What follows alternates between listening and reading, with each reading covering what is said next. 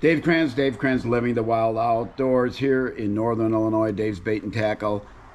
We saw a lot of Keitech Easy Shiners, whether we're talking the 2 inch, 3 inch, or a big 4 inch.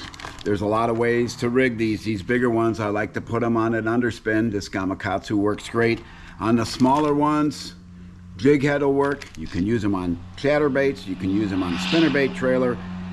You can use them for so many things. Everything eats these things. They like them smallmouth, largemouth, spots.